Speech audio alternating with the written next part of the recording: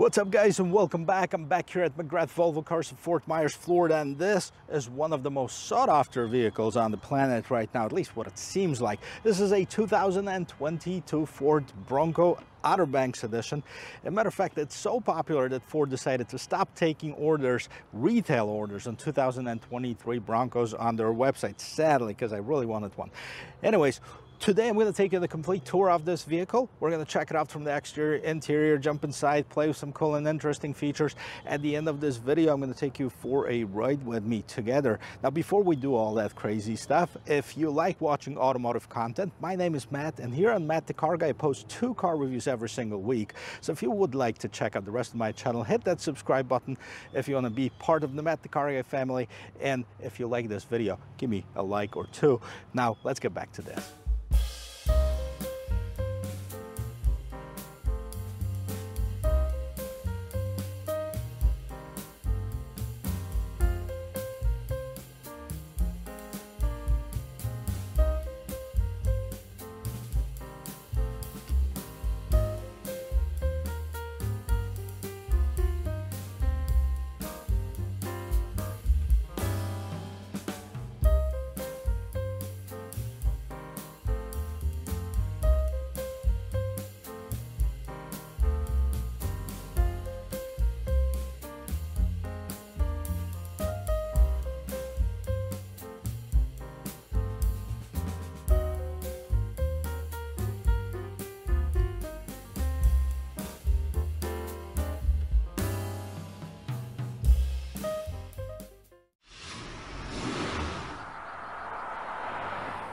Well, this generation Ford Bronco has only been around for about a year or so, definitely started creating waves in the automotive industry. It is cool, but it's also a lot of people have that love it or hate it relationship with it. I gotta tell you, to me, it's awesome. Okay, it's so good that I wanted to order one myself. Unfortunately, Ford stopped taking retail orders for 2023 model year, so I'm not sure what I'm gonna do. I might go back and actually get a Jeep Wrangler. But let's take a look at this particular vehicle.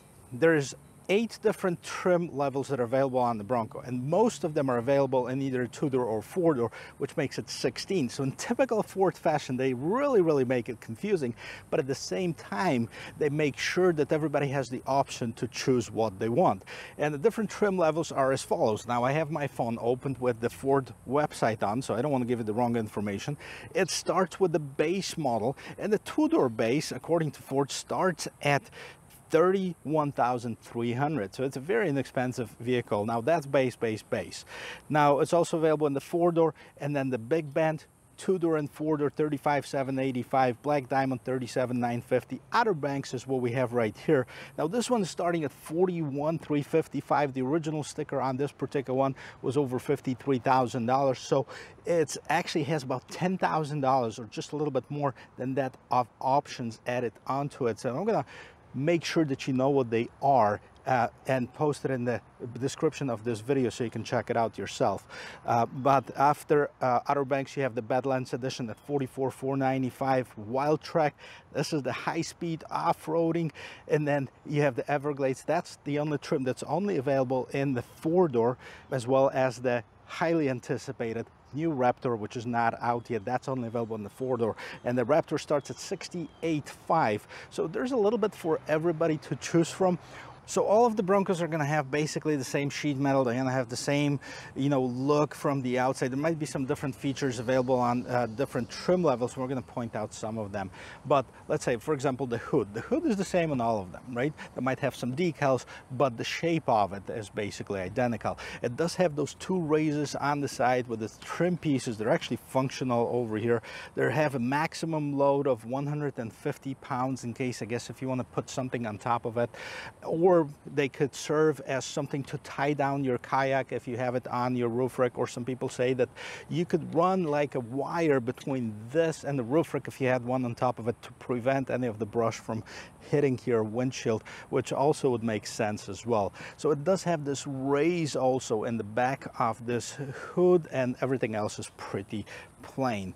Now, uh, they call this a combination, the, this trim, Outer Banks, the combination of luxury and off-roading. And you can see that it does have this more luxurious grill, if you will, that's all piano black.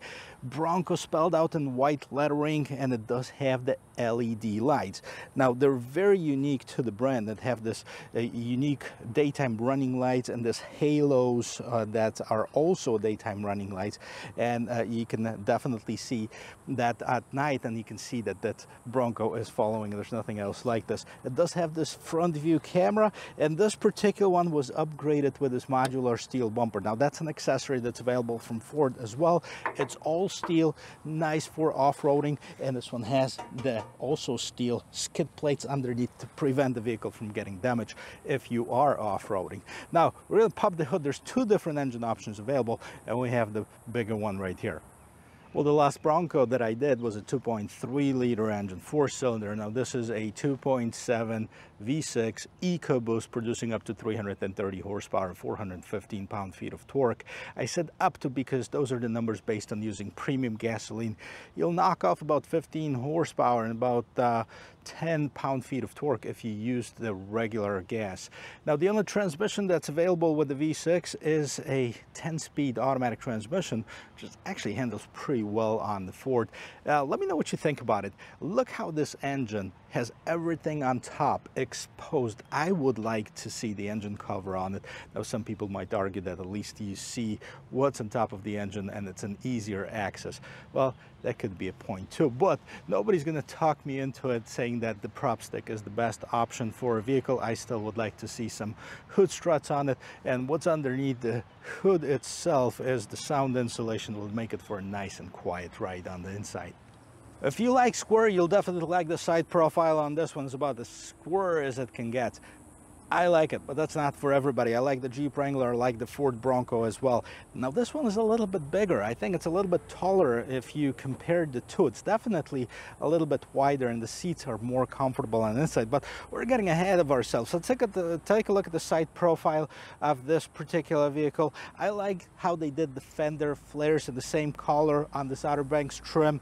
Now, if it was me, I'd like to see them a little bit wider with the black accents or maybe even in black, matte black, but then those are available uh, as an accessory, also available on other trims. Standard wheel setup on this particular one, 18 inch wheels, 255 and 70 by 70. This is the size of the tires.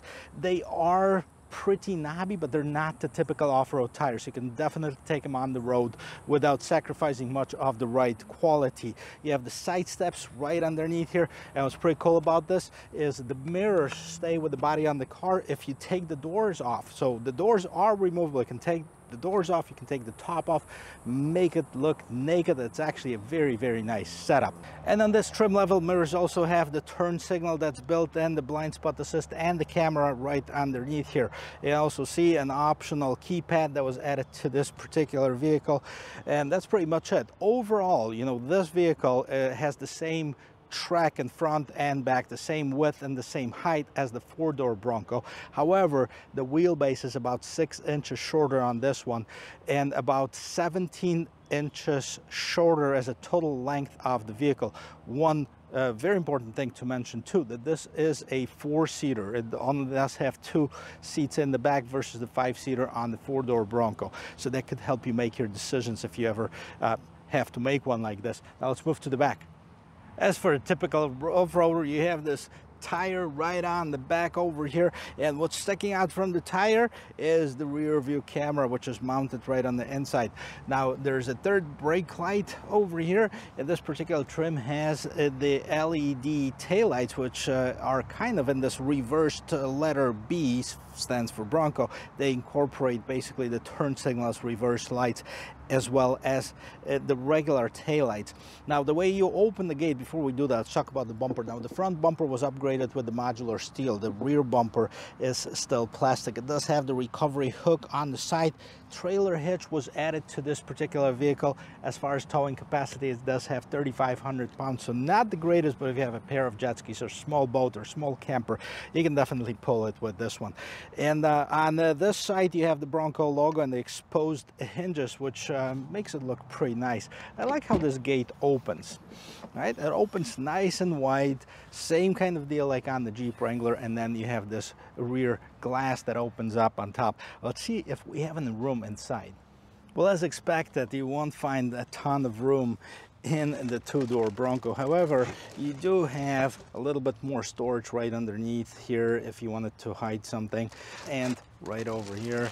You can see uh, different lassos that are pictured on uh, those hooks. And put something on top of it secure it. You do have a little bit of an illumination in the back 12 volt power outlet. You have the led lights with the little bronco logo right in the middle over here. And i like how you know you can see you can take basically the whole thing out and this will all be exposed. You can see the speakers are built in here and this one has been upgraded with some six stereo. So we're going to check that out in the future and uh, well as far as the seats here the seats do fall down just in case you were wondering it's a pretty easy type of deal you just basically pull the lever and let it go and it will fall. let's get inside of this vehicle but before we do that let's hear how the door sounds when you close it it's actually not bad. I mean, I'd probably give it about 7 out of 10, which is pretty good considering that this is a frameless design. And the doors are also removable, so you can take the whole things out like you do on the Jeep Wrangler.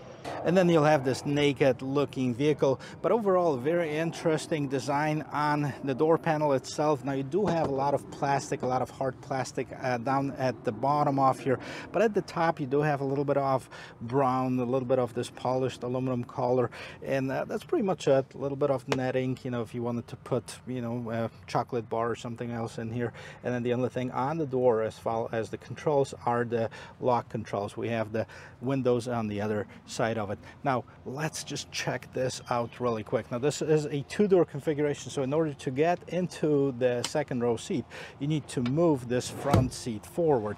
And, you know, it's fairly easy to use. And take a look at the rear seat they're actually fairly comfortable. I sat inside them and for two people, there's enough room and there's no third seat. So that's the only configuration that you have. But what I really like are the front seats. The front seats are super comfortable. They're wide, they're adjustable several different ways. And in this particular case, they have been upgraded to this vinyl seats with leather trimming. You see that Bronco embossed in here. I like that brown and black coloring on here. Really nice really classy. Now let's check out the rest of this interior. What we have right here is this rugged looking handle with the bronco spelled out over here. And then you have this brown trim on top kind of matching the rest of the interior. Left hand side at the bottom of the steering wheel you have the light controls. You also have the mirror uh, light controls and then you have your dimmer for the instrument cluster which we'll get to in just a second. And you have uh, your hood opener and then just a regular pedals. Nothing crazy about here. Let's get inside. I have to start this vehicle because it's getting so hot in here. So check this out. This is how the interior looks Okay, as far as the look, it's very easy to look at. I, I think it's one of the nicest looking interiors out of any of those off-road vehicles. I think I'd take it over the Jeep Wrangler, although some of those Rubicons are pretty cool too. So um, I like the two-tone, or actually a three-tone basically, because you have this bronze, you have this uh, silver color, Bronco spelled out over here, and then you have your regular black. Now that's where your glove box is underneath here. Um, you have your regular vents, and uh, this big screen, part of this, uh, actually it's part of the high package, but uh, this one has a Lux package, which is higher than that, so it includes that screen as well, 12 inch screen. And then uh, let's move up on top, see what we have. We're actually gonna start over here. So the, the, tops are removable, so you have two panels in the front and then the back is removable as well. Fairly easy to do. You, all you have to do is unlatch this, this, and the two in the back and you basically take them out, put them somewhere safe. What else we have right on top console? We have those pre-wired switches, auxiliary switches. There's no auxiliary equipment that's, that's installed on this particular one, so they're not assigned to anything right now, but if you put any light barbs or anything like this, you can assign them to it. LED lights, and that's pretty much it, what you have on top of it. Regular mirror, nothing crazy. Scrolling down right in front of here, you have the USB port, and then you have this mount for the camera, for example, that you can use that. And then you have some switches over here. As you can see, they're marked. One of them is the uh, rear diff lock, then the sway bar disconnect. You have the traction control off and the hazard lights, and the 12-inch screen. But staying up on top of here, you have the Bang & Olufsen stereo. This is the upgraded stereo. It actually sounds pretty darn good. Steering wheel, pretty decent. Okay, leather wrapped. You'd have some contrast stitching, bunch of buttons on both sides. Left hand side, you have your volume control, you have your cruise control settings. On the right hand side, you have basically your pages and whatever is controlled in the infotainment in instrument cluster as well as your phone and the voice control. So let's take a look at this instrument cluster right here. That's pretty cool. I've seen it on the other one before. The only thing that you have like the analog is basically your speedometer on the left hand side and underneath here you have the temperature control and here you have the screen that's uh, customizable right here. Now you have the uh, miles per hour and RPMs, that's the basic settings. We can change that to the way that you want to change. So you have the My View right now, you hit OK, trip fuel off-road navigation, so you can have different settings like an off-road settings. Pitch and roll, let's leave it right here, and right here on the right hand side, it shows your pitch and roll. And then you can go back in there, you can do the power distribution, so you can see which wheels are getting the power, etc. So a lot of customization that's going in here, something that you'll need. Um, you know, very important thing, tire pressure, especially if you're off-roading and deflating the tires a little bit. Different gauges, so you have your turbo PSI temperature controls for the coolant and the transmission and your voltage for the battery. So again, you have the turbo boost, depending on what you like to be displayed in front of you, that's what you can actually set up. So everything off-road status, basically it just tells you this is in rear wheel drive right now, which is true. And if I did switch it to a four high, it says four by four shift in progress.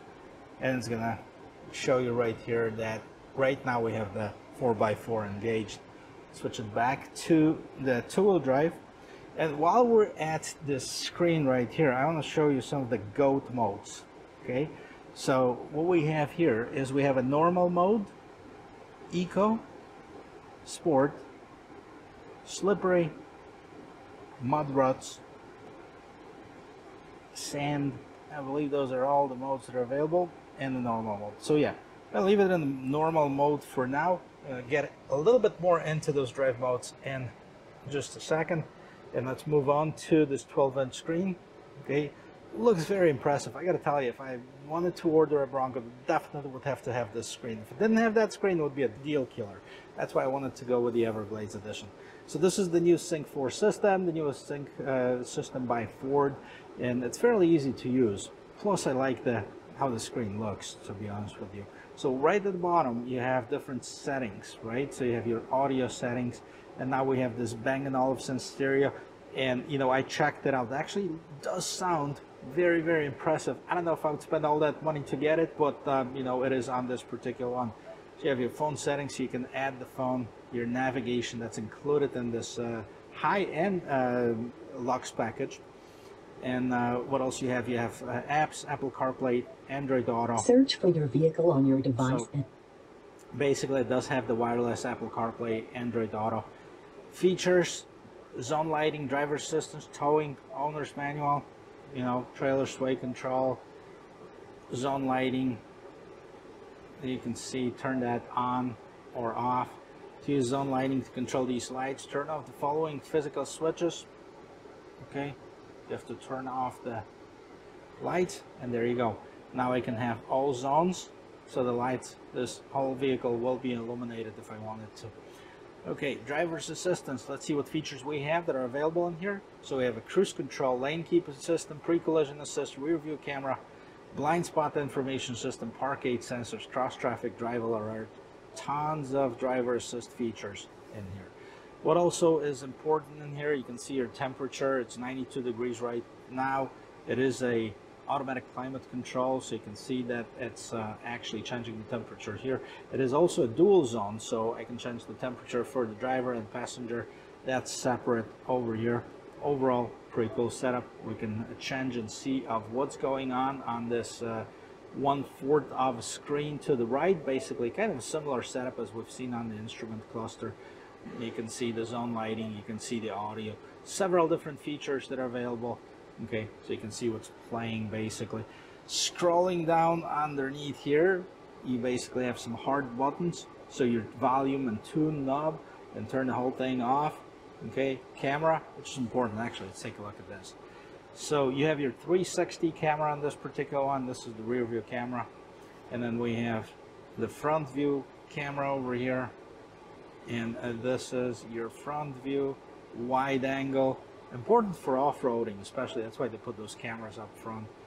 And then uh, we have this camera right here. Now, uh, do they have the trajectory lines? If I have to put it in reverse, I believe, there you go. Put it reverse, trajectory lines, they're actually active trajectory lines. They move with the steering wheel and put it back in park. So the camera system, it's okay. It's not the greatest quality, but oh well, I mean, it's, uh, it is what it is. I wish it was maybe a little bit more detailed. All right, let's turn down the fan just a bit and then we can see um, you do have so knobs for the temperature control you can turn off the entire system and you have a separate for the driver and passenger and that's basically all the settings for the climate control you also have the heated seats on this and the heated steering wheel as the rear window defroster because we do have a hard top and that rear glass does have a defroster over here right underneath you have a USB-C and the USB ports that's pretty cool shifter for the Bronco. Now, if you wanted to shift your gears manually, you have the plus and minus. Once you put it in drive, you actually don't have to move it to the right or the left. You just use the up and down button. And uh, basically that's what you have here is your regular gears. And then, oh, actually you have to put it in the manual mode in order to use it. Okay, I apologize for that. Didn't see that. Moving back, you do have this dial for your GOAT modes as well as the switch between the four-wheel drive and the two-wheel drive. So you have the two-wheel drive high, four high, four automatic, four low, and then you have this button over here that's basically trail control. So that uh, is going to enable this one pedal drive and um, it's going to help you move along the trail without you know, uh, acceleration, rapid acceleration or braking, which, you know, not really desirable when you're trail riding. The GOAT modes, we already looked through them. This is how you change them. This is a pretty cool knob. And then you have your window controls and the mirror controls. Well, obviously, I mean, the, the doors can be removed, so there's no need to disconnect those while the doors are being removed. And the one last thing to show you is actually this console over here. So you have some storage over here. This is it, guys. Let's see how this two-door Bronco drives. Now I'm going to take this vehicle on for a drive really quick. And here's what I'm looking at. I'm, I'm, looking for a few things. I'm looking at the responsiveness of the engine, the comfort of drive, and the overall feel. Okay, it's not going to be a 0 to 60, and we're not going to take it on the uh, Rubicon Trail because there's just not such a thing around here. But what I do want to do is a slight acceleration, and then we're going to do some turns, and uh, I'll give you my feeling of this vehicle. So first of all, I'm going to start with the uh, acceleration. It looks like there's a perfect place over here. I can stop and uh, accelerate.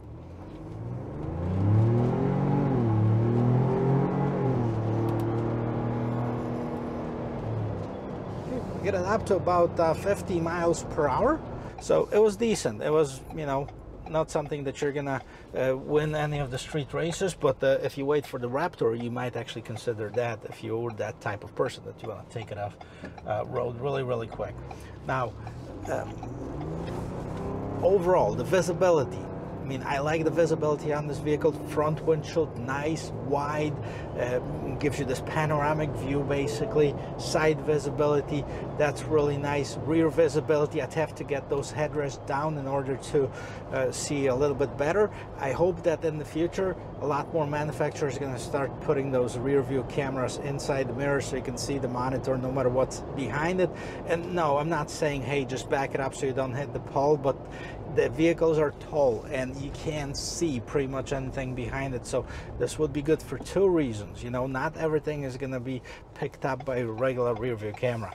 One of the concerns about this vehicle before i started test driving it was how bumpy will it be because of the short wheelbase that it has. And it's definitely not as smooth as the Forder that I've driven but it's not overly bumpy. It's not as bouncy as uh, some of the base Jeep Wranglers that I've driven. You can definitely, you can feel every single bump on the road. Acceleration is pretty good, visibility is decent, you know, really doesn't bounce around as much as I thought it would. Uh, the one concern that I have, and I don't know if the cameras are picking up this whistling noise from the hardtop. There's three panels, as I mentioned, on top, the two in the front and one in the back. And I don't know if there's gaps between them that create this noise or maybe that this is just particular vehicle. So um, if you know more information, I know they've had some issues at the very beginning, but that was for 2021. This is 2022. So maybe that's an early production one, I guess. Definitely a, a great contender in the off-road segment. And this one is just the right combination of luxury and ruggedness. On uh, this vehicle so if you uh, thought you're never going to take it off-road but in the meantime you're going to decide that you're going to do that that's a perfect trim because it's capable and it's luxurious.